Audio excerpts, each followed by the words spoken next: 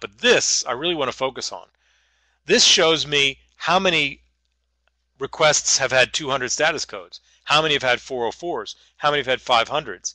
And if we go to that side of mine, it might be still different. So I've got 200s, 301s, 302s, 403s, 404s, 500s, and 503s, and I can see the count of them. Well, not only can I see the count of them, but let's say I was curious about, well, what's been getting 50, 500 internal server errors? I click on that link, and FusionReactor takes me to a page that shows me the pages that had errors. 500s in ColdFusion are errors. So these pages had errors. And if I look at these, I might get some idea from looking at them, but I really don't see why these would be bad.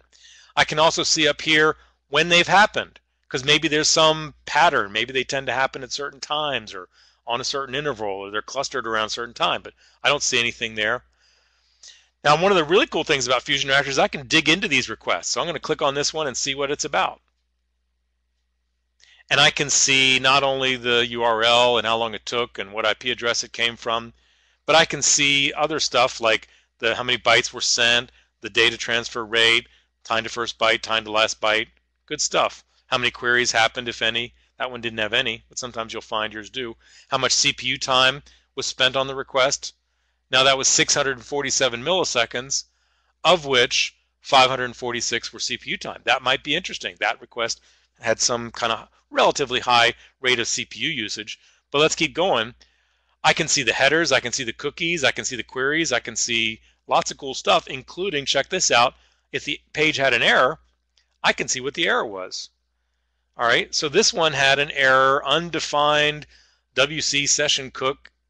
I don't have no idea what that's about, but I can see that it was in a custom tag called, or a CFC stored in the custom tags directory called portcullis. Some of you may know what that is. It's a um, web application firewall for ColdFusion, free. If you haven't heard of it, check it out. Google portcullis and you'll find it. Anyway, it seemed to have had an error at line 109 of its code, and this was the error. And so I could look into that and find out that's what that's about. But the cool thing is you see, I can see the error. I don't need to have an error handler set up to email me. I don't have to have been the user that got the error. FusionReactor will tell me a page had an error. Here's the error. Go look into it. Here's the line of code. Go knock yourself out and it'll keep that information for as long as ColdFusion stays up and running. And so I can see errors going back days 17, 16, 15, 14, 13, 12th, 11th. You know, I'll just pick this one and see what its error was. And that had some other servlet exception, parsing a query string.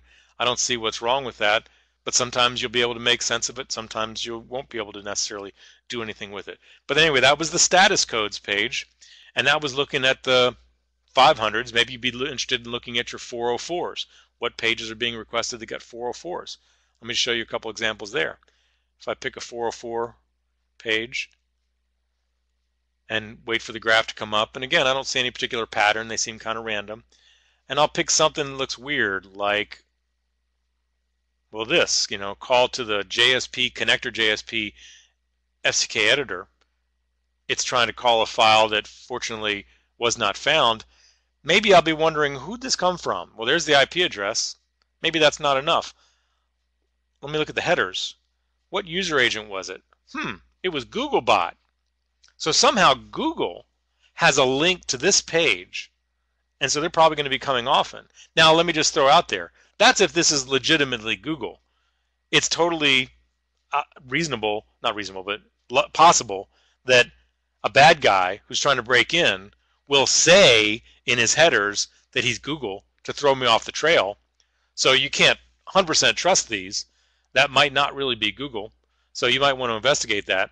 You could take the IP address and look it up, and sometimes it'll say whether it's Google or not. IP addresses can be spoofed as well. So you don't want to put too much stock in all this stuff, but you know it points you in the right direction. And the point is, is that uh, I can also see that there's no referrer no referrer.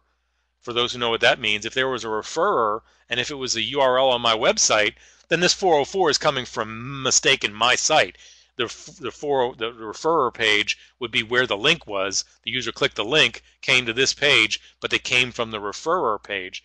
But if there's no referrer, then that means they didn't come from a page on my site, and it probably was either a user typing in a URL and hitting enter, or a spider or a bot or a hacker calling the URL directly. They're just calling this URL directly. It doesn't exist. It got a 404. It got handled.